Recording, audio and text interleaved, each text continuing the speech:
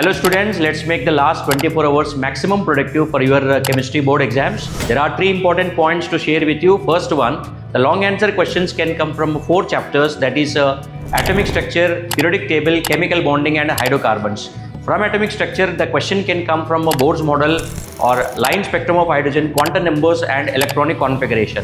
Periodic table, SPDF blocks, ionization energy, electronegativity and atomic size. Then from chemical bonding, molecular orbital theory, hybridization, VSEPR theory. And from hydrocarbons, reactions and reagents of uh, ethene and acetylene.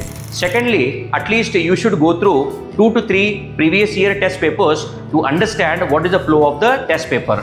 Thirdly, uh, stay calm and focused, well prepared for the key terms of the entire syllabus. Then uh, have a better sleep. Better not to start any new chapters at this moment and also understand that presentation and handwriting are very important for IPE board exams and stay positive. All the best from Resonance. Thank you.